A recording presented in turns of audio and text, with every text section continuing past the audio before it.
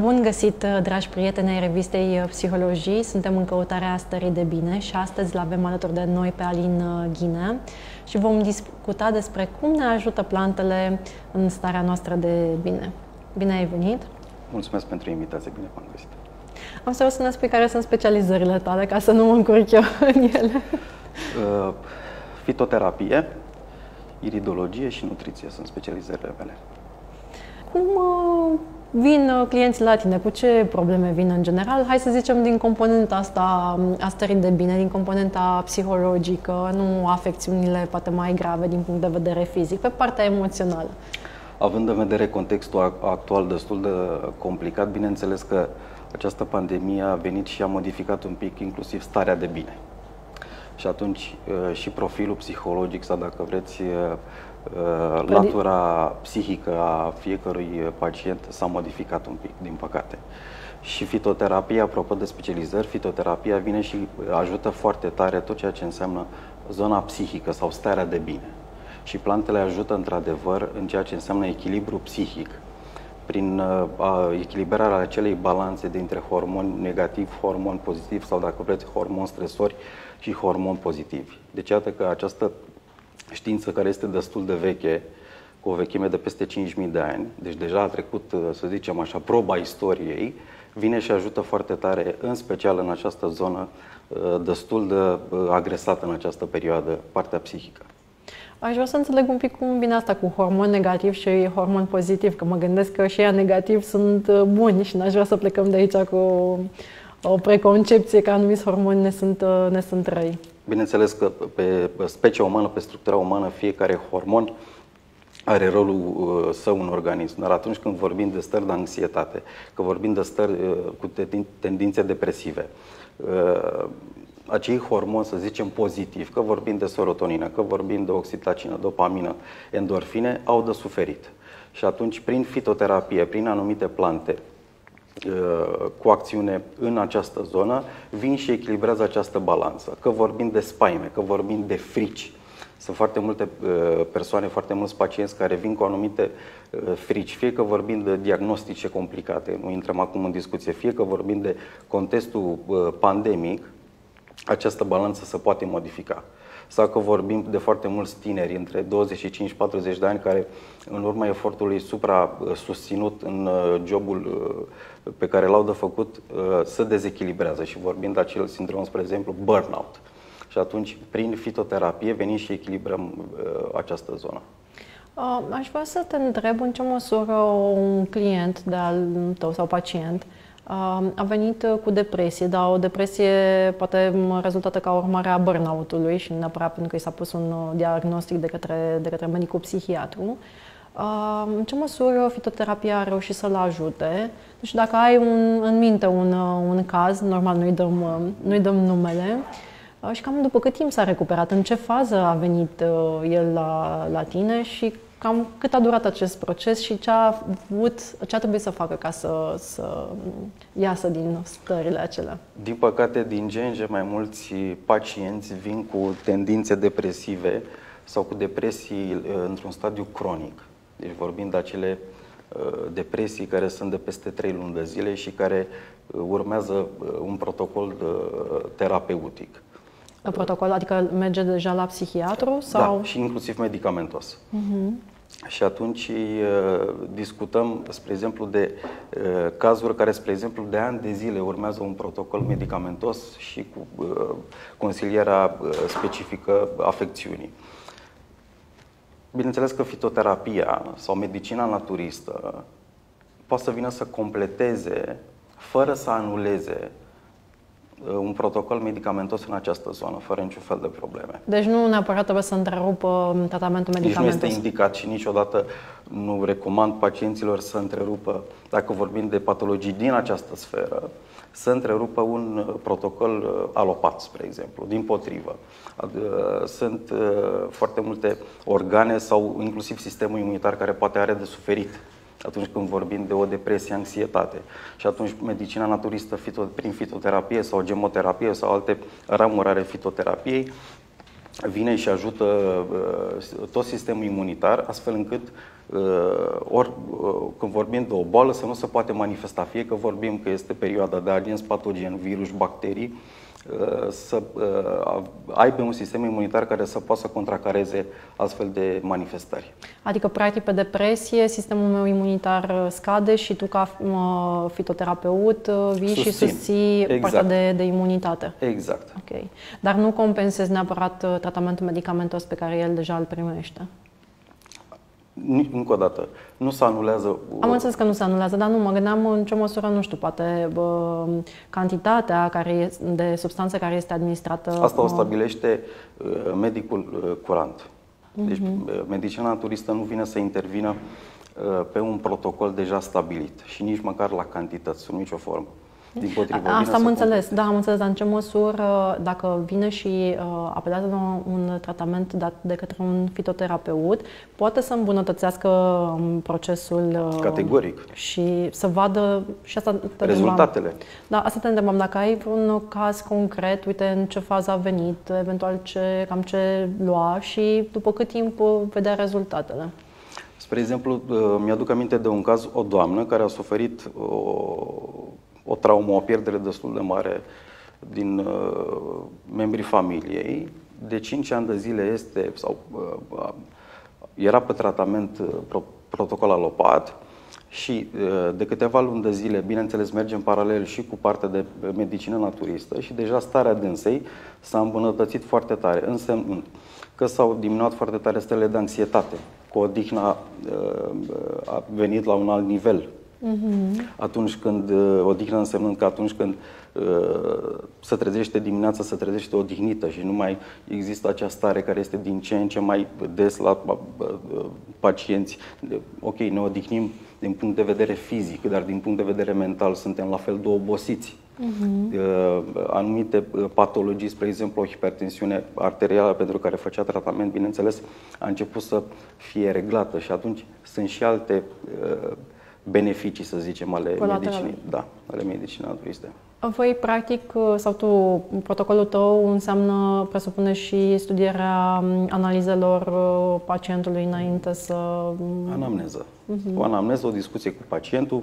Dacă sunt investigații uh, de natură, uh, să zicem, biochimie sau RMN-uri, CT-uri, bineînțeles că mai întâi să vede profilul și un istoric medical al pacientului. În funcție de istoric medical, în funcție de profilul pacientului, se stabilește protocolul fitoterapeutic și inclusiv la partea de dietă-nutriție. Deci, practic, e nevoie să urmărești și partea asta cu dieta. Și dacă omul nu ține? Este foarte important, încerc să-l conving să țină și încerc să-l conving uh, să privească dincolo de medicamente. Nu, hrana să vă fie medicament. Și atunci mergem pe dietoterapie, adică acea știință care abordează boala cu o anumită alimentație corectă. Adică sunt alimente permise sau alimente interzise. Uh-huh. Și aici pun foarte mare accent și încerc să conving fiecare pacient cât de important este nutriția în a trata sau în zona de profilaxie pentru că putem să mergem inclusiv în această zonă.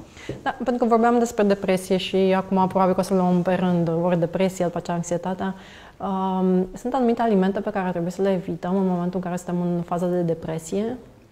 Tot ce înseamnă, spre exemplu, acele alimente uh, cu rol excitant, spre exemplu, condimentele iuți sau uh, excesul de ciocolată, zahăr alb brun, dacă nu putem să renunțăm la ele, măcar să încercăm să reducem din cantități. Dacă are explicația, de ce, ca să înțeleagă și cei care ne urmăresc, care poate nu au ajuns la tine, de ce e nevoie să, adică de ce trebuie să renunțăm la ele?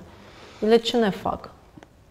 Pot fi o sursă. Scuze-mă, dincolo de faptul că nu sunt sănătoase poate pentru, pentru corp, dar din perspectiva depresiei, ce da, da fac da, da. ele? Pot fi o sursă de excitație cerebrală. Și atunci este bine să încercăm pe cât posibil să reducem din cantități. Atunci când mergem pe un protocol, fie el alopat, fie el naturist, fie integrat, de a uh, contracara această afecțiune care este, din păcate, din ce în ce mai des întâlnită, uh, trebuie să renunțăm la acele alimente care pot fi surse de excitare nervoasă. Spre exemplu, uh, consumul excesiv de cafea. Știm foarte bine, o cafea poate să fie benefică pentru organism. E, atunci când vorbim de anumite patologii din sfera aceasta, în special depresia, este bine ca inclusiv consumul de cafea să se reducă cât mai tare. Deci trebuie să evităm acele alimente care au un potențial uh, excitant nervos. Mm-hmm. Pentru că asta vine peste Asta poate să vină peste inclusiv peste un tratament, spre exemplu, din sfera fitoterapeutică. Uh, atunci când vorbim de o echilibrare a balanței uh, hormonii, uh, o echilibrare a balanței hormonale, de exemplu zahărul sau ciocolată, da? că vorbim până la urmă de același lucru, poate inhiba nivelul de glucoză din sfera cerebrală, că și aici este o întreagă discuție în această zonă. Știm foarte bine, ciocolata, așa în cultura populară, sau ciocolata poate să facă bine structurii cerebrale, dar în același timp trebuie să aducem aminte faptul că acel, acea glucoză, spre exemplu, din ciocolată, nu este rezistentă la insulină. Și atunci foarte puțină glucoză ajunge în structura cerebrală ca să hrănească structura neuronală. Și atunci trebuie să găsim tot timpul un echilibru și o balanță. Tocmai de aceea anumite alimente sunt de evitat, să zicem în această patologie. Dar se, se cunoaște, de exemplu, la depresie, care ar fi o biochimie a creierului, adică ce este în plus și ce este în, în minus la nivel de creier, că tot vorbeai de nivelul de glucoză la nivelul creierului. În primul rând, la nivel de hormoni, nivelul de dopamină scade atunci când vorbim de depresie. Uh, nivelul de dopamină poate să, fie, poate să aibă de suferit inclusiv din uh, cauza acelor hormoni stresori, spre exemplu cortizolul care este un hormon de stresor, uh, destul de agresiv pentru organism. El intră în, în circulația sistemică atunci când ajunge în zona cerebrală neuronală, poate să consume mult din nivelul de, dop- de dopamină. Și atunci persoana inclusiv poate să aibă probleme de memorie. Mm. Da? Este afectat inclusiv hipocampusul, uh-huh. locul memoriei. Uh, atunci când venim cu anumite plante specifice acestei zone, se calmează glandele suprarenale. Da? Și atunci inclusiv nivelul de dopamină se poate reface. Uh-huh. Dopa, uh, cortizolul poate afecta inclusiv zona endocrină, spre exemplu glanda tiroidă, care, uh, după cum bine știm, are o balanță destul de fină și atunci poate să reprezinte, să zicem, o, uh, o consecință a unei depresii. Sunt mult, foarte multe uh, doamne, în mod special, care au avut un episod de uh, genul acesta sau sunt într-un stadiu cronic și care uh, au inclusiv uh, o hipo sau o hipertiroidie. Citeam undeva, dacă nu mă înșel de curând, că raportul de depresie este 2 la 1 în favoarea, mă rog, în defavoarea femeilor. Exact. De ce se întâmplă lucrul ăsta? Știm? Pentru, știe? pentru că structura endocrină a femeii este mult mai sensibilă. Și noi, cum suntem ciclice și de-a exact. lungul unei luni ni se schimbă hormonii exact. de la o zi la alta, atunci mhm, exact. prinde un fond uh, fertil uh, imediat. Și în același timp, uh, doamnele exteriorizează mult mai greu. Adică? Asta vă spun și din proprie experiență vis-a-vis de pacienții sau pacientele pe care le am în zona aceasta de patologie, depresie.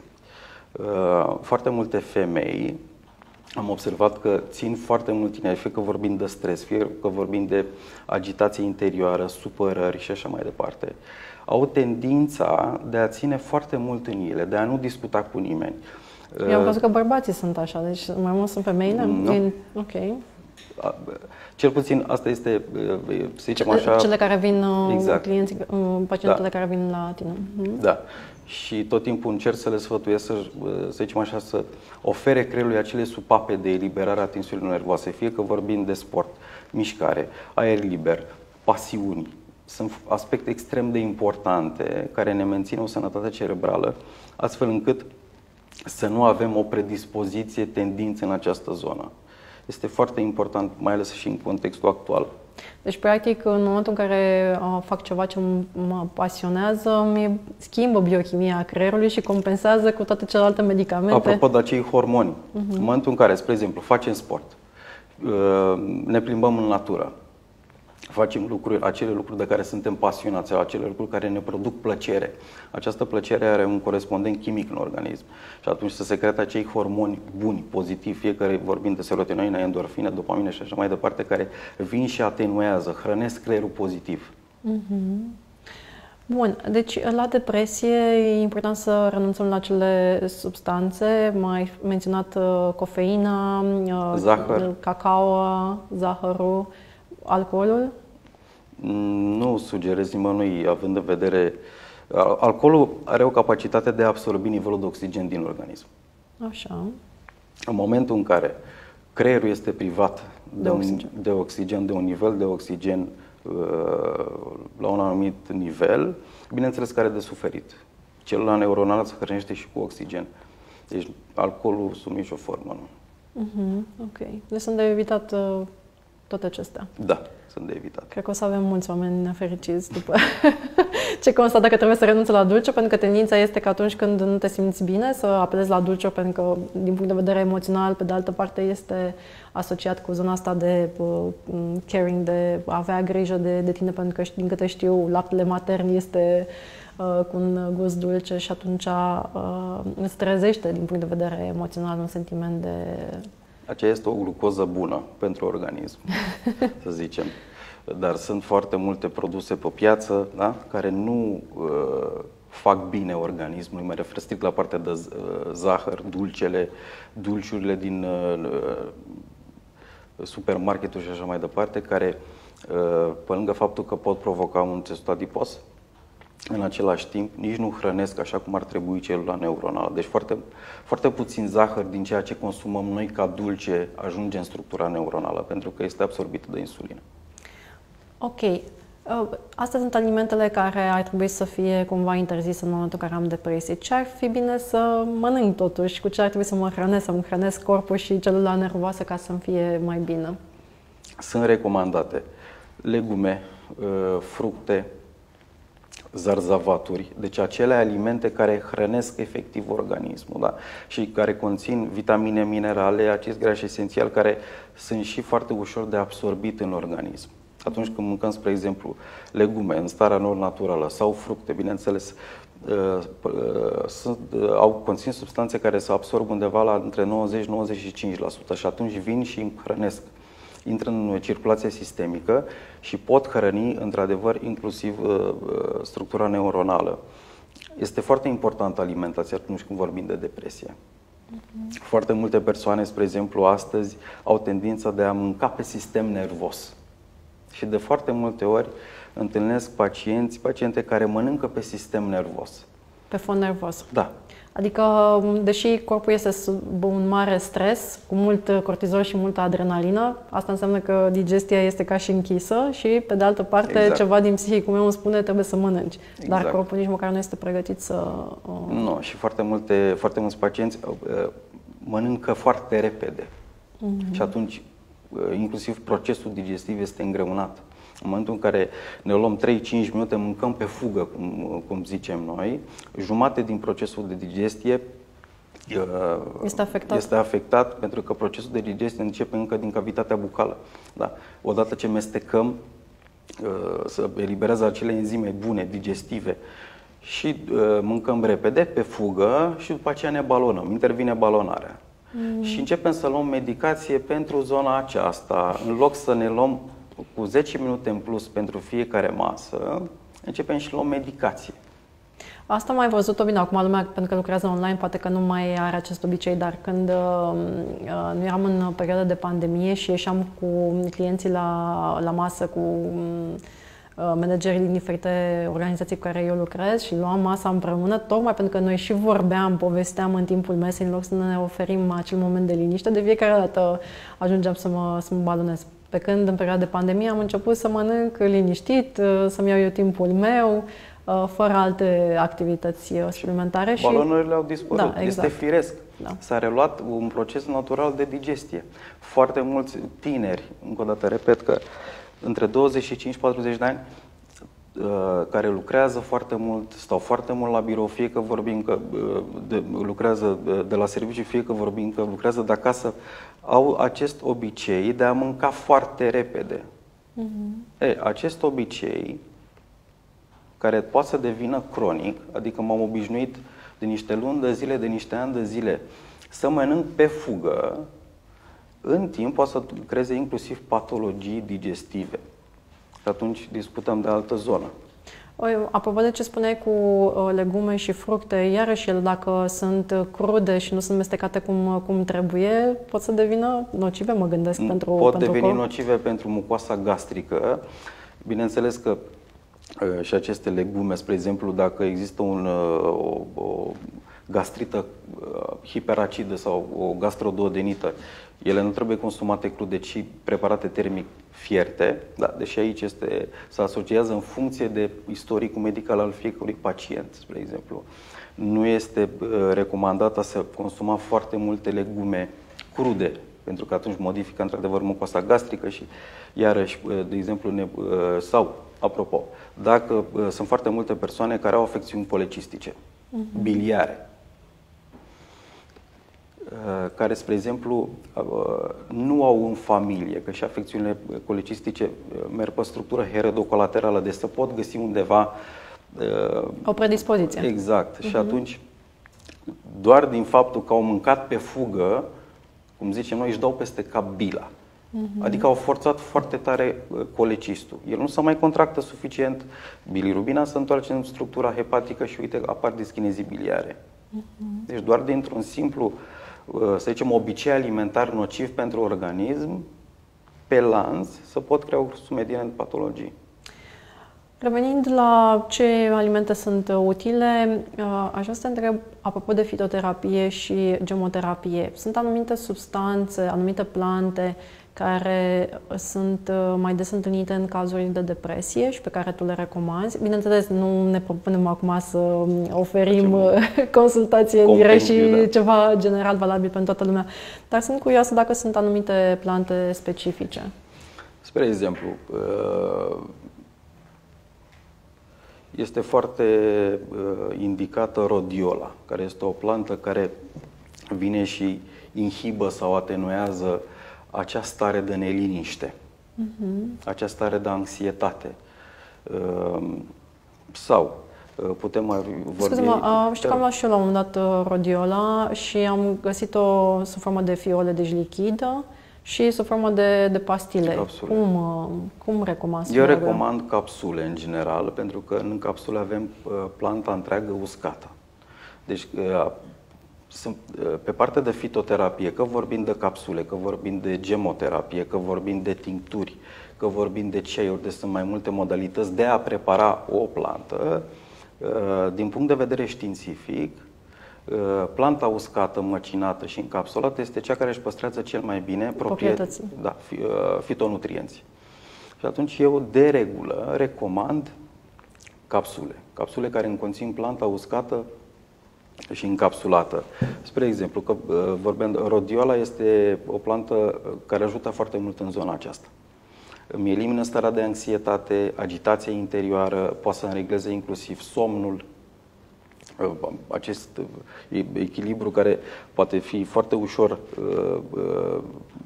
afectat de depresie. Da, am și o curiozitate. Practic, în momentul în care spui capsulă sau partea asta lichidă, eu cel puțin care urc pe munte, știu că de preferat este să iau lucruri care sunt lichide pentru că se absorb mai rapid. În ce, în ce parte din corp se absorbe rodiola, care îmi bănuiesc că are ea la rândul ei niște substanțe utile pentru corp. În ce zona a corpului se absorbe? Știu că unele se absorb, de exemplu, la nivelul intestinului subțire, altele... În primul rând că vorbim de uh, metabolizare. Absolut uh, toate substanțele pe care le ingerăm, fie că vorbim de fitoterapie, ele trec prin zona hepatică. Ficatul le metabolizează și bineînțeles că intră în circulația sistemică. În momentul în care ajunge în circulația cerebrală, rodiola vine și ajută foarte mult în zona aceasta. Sunt plante, într-adevăr, care uh, se absorb la nivelul duodenal, da? uh-huh. Uh, și sunt plante care se absorb la nivelul uh, uh, intestinului subțire, cealaltă parte din intestin subțire. Inclusiv, spre exemplu, sunt plante care din sfera digestivă, care ajută foarte mult în patologii gastrointestinale, care se absorb prin zona duodenală. Fac o paranteză aici, că sunt foarte multe persoane care iau suplimente alimentare, în special cele de, de B12, B-urile. Uh-huh. Ele se absorb în prima parte din intestin subțire. Uh-huh. Da? Deci, okay. sunt lucruri diferite. Da, și atunci, apropo de absorpția asta între a lua ceva lichid și a lua ceva care este solid, da? pentru că capsula este ceva solid, este vreo diferență? Este o diferență de timp. Ah, ok. Lichidul se absorbe mult mai repede, uh, unei capsule îi trebuie un pic mai mult timp. Dar ca și rezultat, uh, sunt, rezultatele sunt aceleași. Uh-huh. Dacă dorim o absorție mai rapidă, mergem pe partea de lichid, fie că vorbim, spre exemplu, uh, de tincturi, da? Uh-huh. sau de alte preparate lichide, subnatural și așa mai departe. Dacă vorbim în general de ceea ce înseamnă un protocol pe o patologie cronică, mergem în partea de capsule. Ne-ai povestit uh, până acum ce alimente ar trebui să um, luăm uh, în momentul în care avem depresie, ce să evităm. Ne-ai povestit despre rhodiola. Ce facem legat de anxietate? În cazul ei este ceva diferit față de depresie din punct de vedere al alimentației. Uh, bineînțeles, din punct de vedere simptomatic este diferit. Este diferită. Dar voi, din perspectiva fitoterapiei, cum o abordați? Din păcate, din ce în ce mai multe persoane astăzi se confruntă cu astfel de situații. Uh, foarte multe persoane uh, confundă depresia cu anxietate și intră și mai tare în panică, ceea ce, bineînțeles, având un fond anxios, iarăși nu face bine, deci suntem într-un cerc vicios. Uh, Fitoterapia vine și abordează... Scuze-mă, ca să punctăm, în cazul anxietății avem o frică de ceva ce se va întâmpla în, în viitor. Fiecare exact. cu fricile lui, poate să fie și ceva generalizat, ok, dar în general este o frică legată de viitor. Exact. Apropo de frică legată de viitor, pentru că uh, uh, creierul, până la urmă, nu știe să facă diferența dintre ficțiune și realitate. Mm-hmm. Dacă noi ne gândim la un anumit subiect, cu o teamă. Sau ne uităm la un film care este foarte agresiv. Exact. Și atunci începem și ne închipuim sau începem și ne facem scenarii care nu au nicio legătură cu viața noastră reală. Bineînțeles că uh, nu facem nimic altceva decât să hrănim această stare anxioasă. Uh-huh. Dar uh, atunci, spre exemplu, când mă confrunt cu astfel de tendință, patologie, uh, încerc să vorbesc cu pacientul și să îl fac să înțeleagă ca ceea ce, ceea ce gândim sau ne imaginăm, exact asta interpretează creierul atunci când avem de-a face direct cu o anumită situație despre care noi ne-am imaginat la un moment dat. Uh-huh. Momentul în care venim și schimbăm gândirea, creierul, bineînțeles că nu mai reacționează la fel. Dacă vreți, în zona aceasta de anxietate, uh, să poate merge în paralel cu o curățenie psihică și în același timp și cu fitoterapie, pentru că fitoterapia nu vine decât să uh, susțină organismul și structura cerebrală, structura neuronală, într-un proces pe care pacientul trebuie să fie, de care pacientul trebuie să fie foarte conștient și să uh, renunțe, spre exemplu, la acele uh, stări imaginative sau... La acele gânduri exact. care mă introduc într-o stare anxioasă. Deci fitoterapia nu este, ajută foarte tare Uh, calmează, poate să calmeze pacientul, la fel poate să uh, mi oferă acei hormoni de care discutam mai devreme, acei hormoni buni, pozitiv, serotonina, endorfine, oxitocine și așa mai departe, dar în același timp uh, încerc să vorbesc cu fiecare pacient și să găsi, să găsească acea formulă, pentru că până la urmă ține de el, să găsească acea formulă astfel încât să aibă acele gânduri bune, mm-hmm. acele gânduri care uh, au corespondent hormonal și este foarte important. Uh, bineînțeles că și aici, în partea de anxietate, fitoterapia vine, dacă vreți, fitoterapia uh, tradițională, vine cu acele plante precum sunătoare, tei, uh, roiniță, care lămâiță, iarăși, deci sunt plante care liniștesc, liniștesc mm-hmm. structura nervoasă, calmează, Uh, au, bineînțeles, uh, intră în circulație sistemică și pot uh, repara, să zicem, inclusiv un exces de cortizol, adrenalină. De multe ori, în stările de anxietate, organismul primește un semnal fals și atunci și pulsul se modifică, omul devine agitat, stresat, poate să aibă inclusiv palpitații, tulburări de rit cardiac și așa mai departe. Deci este o întreagă simptomatologie în această zonă. Iar fitoterapia vine și reglează aceste, aceste lucruri, dar încă o dată repet, și cu uh, o conștientizare a, a pacientului care se confruntă cu astfel de situații. Da, și eu ca psihoterapeut uh, simt, de exemplu, la cazurile de depresie că e foarte importantă componenta asta de uh, tratament uh, medicamentos, tratament uh, naturist, și întâi uh, e nevoie să se regleze, să se echilibreze ceva acolo, ca eu după aceea să vin cu zona de psihoterapie. La anxietate simt că este foarte mult despre uh, psihoterapie și de exact. a lucra cu, cu gândurile uh, omului, dar într-adevăr și de a liniști un pic uh, sistemul luând astfel de exact. uh, substanțe.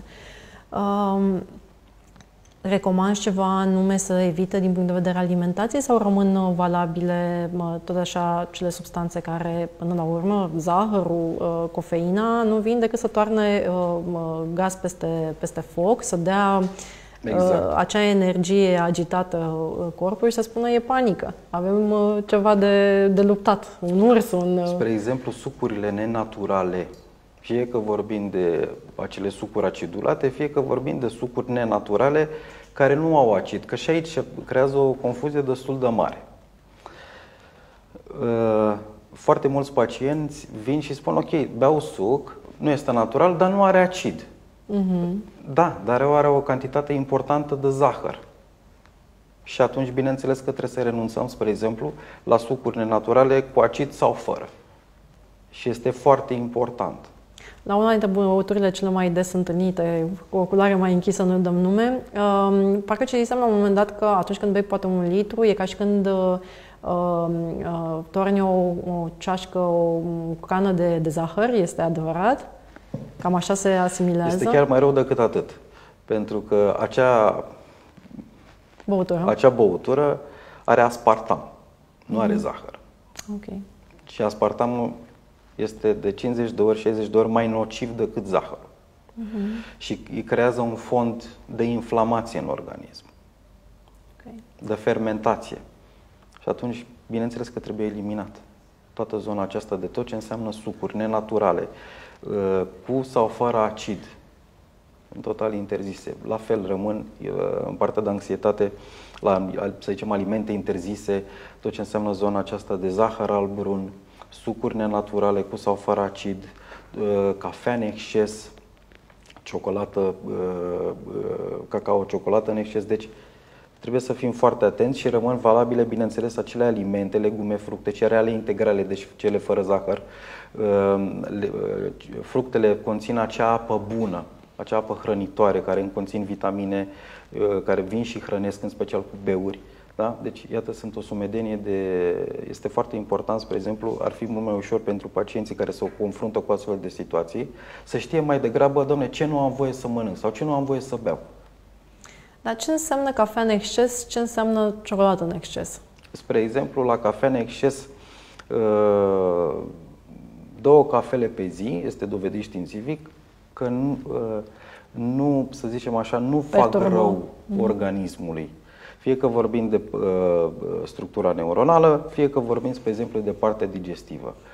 În general, aici de-a lungul timpului s-au făcut, uh, s-au făcut fel de fel de discuții și sunt fel de fel de opinii, inclusiv în uh, dovedite, să zicem, uh, încercate științific. E, uh, două cafele pe zi s-a dovedit științific că nu afectează nici gândirea, nici starea de uh, sănătate, nici, dacă vrei, nici, nici, starea, de, nici starea psihică. Tot ce înseamnă uh, a depăși uh, două cafele uh, pot excita din punct de vedere nervos structura neuronală și atunci putem să devenim mai agresivi, putem să avem, putem să fim inclusiv un, mai impulsivi, ceea ce poate nu ne stă în fire. de agresivitate. Exact, da. mm-hmm. poate afecta inclusiv tensiunea Bineînțeles că aici depinde de la persoană la persoană. Că, uite, eu care istoric. nu beau cafea, dacă beau o ceșcuță, clar, voi Asta. simți la nivelul inimii, voi simți o exact. agitație exact. interioară care nu, nu, nu, nu este ok. Chiar de dimineață mi-a trimis o prietenă un articol în care vorbea despre în niciun caz nu beți cafeaua dimineața pe stomacul, pe stomacul gol. Era o explicație că, practic, introduci corpul în acea agitație, crești nivelul de, de cortizol de care nu are nevoie fix în momentele acelea, ci ar trebui mai târziu când simțim, oricum corpul dimineața începe el să-și producă toate substanțele ca să te mobilizeze și să intervii cu cafeaua în momentul în care simți că îți scade, că îți scade energia. Bine, acum, într-adevăr, unii oameni se trezesc de cu dimineață cu energia uh, joasă. Uh, pentru că să ne apropiem de finalul emisiunii, o să mai am două, trei întrebări. Uh, spune-mi, te rog frumos, care e ideea cu vitamin, uh, cu beurile, care vin și ajută în depresie, în, în uh, tulburările uh, psihice? De ce? Cum ajută ele? Ok. Uh, beurile vin, intră în, uh, să zicem că facem un tratament de beuri sau sunt, uh, sau, sunt foarte multe persoane care fac cure cu magneziu. Da? E, spre exemplu, beurile, odată intrate în circulația sistemică, în zona neuronală, neuronală alături de oxigen și glucoză, hrănesc terminațiile neuronale. Da? axonii. Odată ce hrănesc terminațiile neuronale, uh, inclusiv ceea ce înseamnă gândire, uh, emoții, uh, care pot fi rezultanta unei anumite gândiri, focusarea, concentrarea, sunt mult îmbunătățite. Mm-hmm. Depinde foarte tare, iarăși revenim, care este, dacă vrei, calitatea. Ok. Mai vorbeam uh, și despre atacuri de panică. E ceva diferit față de anxietate din punct de vedere al uh, tratamentului uh, prin fitoterapie? Fitoterapeutic. Uh, în atacul de panică, într-adevăr, organismul precele, primește acel semnal fals. Uh-huh. Da? Acel semnal care este un semnal uh, de viață în, și de moarte. Exact. Uh-huh. Luptă pentru a supraviețui. Exact așa interpretează organismul, modifică ritmul cardiac, să creează o vasoconstricție, tensiunea poate să crească și iată acele simptome atât de neplăcute pe care pacienții care se confruntă cu astfel de situații le au. Fitoterapia abordează, bineînțeles, și astfel de, să zicem, stări. Tot așa mergând pe calmare, creând o stare de bine, mergând pe sistem endocrin. Asta se iau uh, în timpul atacului de panică sau se iau preventiv ca să reduci atacurile de panică? Uh, uh, fitoterapia în această zonă merge pe o zonă, dacă uh, vrei, preventivă. Uh-huh, pentru okay. că fitoterapia uh, uh, acționează în special în zona de profilaxie. Okay. Uh, are altă structură chimică, da? Fitonutrienții din plante, într-adevăr, intră în sânge, acționează, dar ei au mai degrabă o structură de a preîntâmpina, de a preveni atunci când discutăm de astfel de lucruri. Ok. Uh, care este intersecția între psihoterapie și fitoterapie și dacă tu ai exemplu de, de succes de colaborare cu psihoterapeutul în momentul în care tratați o afecțiune, să zicem, emoțională?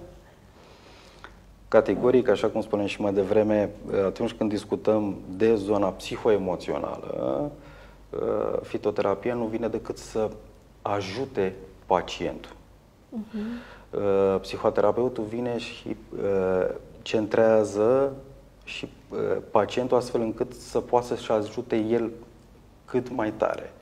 Eu colaborez cu uh, psihoterapeuți în zona aceasta. Dar discutați despre, uh, despre client, uh, evoluție. Vă, vă reglați da. fiecare ce are de făcut în funcție de... Exact, exact. Uh-huh. Se face ca, o, ca un protocol integrat. Okay. Atât din punct de vedere fitoterapeutic, ca și uh, tratament, cât și din punct de vedere psihoterapeutic, la fel ca și uh, zona de tratament. Și atunci, uh, ca o comisie, să spunem așa, în care fiecare, uh, pe specialitatea lui, trage anumite concluzii și hotărâm mai departe cum, cum, cum abordăm situația, pentru că este foarte important să existe un sistem integrat. Mm-hmm. Și este foarte important să înțelegem că uh, nici fitoterapeutul nu anulează sub nicio formă munca psihoterapeutului și nici invers. Corect. Și, rezu- și uh, pot spune că pacienții au rezultate poate de două ori mai rapide într-o astfel de colaborare. Și aici trebuie să mai lucrăm.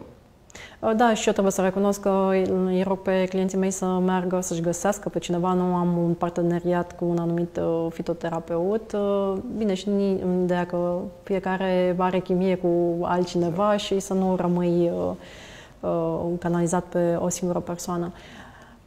Mi-ai spus mai devreme că ești specializat și în iridologie. Poți să vezi anxietatea, depresia, atacurile de panică, poți să le vezi la nivelul irisului? Sau sunt alte lucruri pe care le vedem acolo? Iridologia o ramură științei medicale uh, ce analizează semnele și marcajele care apar pe iris în vederea stabilirii unui diagnostic sau modului cum funcționează organismul atât pe părți cât și în ansamblu său. Atunci când vorbim de anxietate, uh, stări de panică sau depresii, bineînțeles că sunt anumite structuri care se modifică pe iris. Că vorbim de sistemul imunitar, care este, să zicem, într-o ușoară cădere, sau că vorbim de, la, la nivel cardiovascular, că vorbim de anumite vastoconstricții, uh-huh. sau că vorbim pe sistem endocrin, glandele suprarenale care funcționează în hiperfuncție, sau că vorbim de structura creierului, este foarte bine proiectat pe iris, sau că vorbim de structura cerebrală. Bineînțeles că toate aceste, să zicem, tendințe sau manifestări sau patologii se observă pe iris. Ok. Uh, sunt curioasă acum, bine, nu știu dacă există un răspuns la întrebarea asta, ce a fost mai întâi ou sau găina. Um, problemele digestive, de exemplu, uh, sau problemele um, cardiovasculare sunt cele care pot să-ți dea, de exemplu, anxietatea sau întâi este anxietatea și după aceea apar problemele acestea? Cine a fost ou sau găina? Da, bună întrebare. Din experiența lucrului cu pacienții vă pot spune că uh, de pe urma anxietăților sau de pe, în urma depresiilor sau stărilor de panică, se pot naște și alt, altfel de patologii. Pentru că, spre exemplu, atunci când avem stări de panică, de anxietate, uh, acea balanță hormonală se poate modifica în organism, iar acea balanță hormonală poate acționa inclusiv la nivel digestiv și, spre exemplu, un exces de cortizol poate inhiba uh, uh, capacitatea stomacală de a produce suficient acid clorhidric. Și atunci, bineînțeles că... Poate și... în cascadă. Exact. Deci, uh-huh. în urma acestor stări pot, se pot declanșa și alte patologii și din alte sfere. Mulțumesc frumos, Alin. Am fost așa la foc continuu cu, cu întrebările și am fost foarte la, la obiect răspunsurile tale. Vă mulțumesc uh, celor care ne-ați urmărit uh, până acum. Sperăm să ne revedem și data viitoare cu subiecte cel puțin la fel de interesante. Vă așteptăm să răsfoiți și noua revistă um, Psihologii. Pe curând!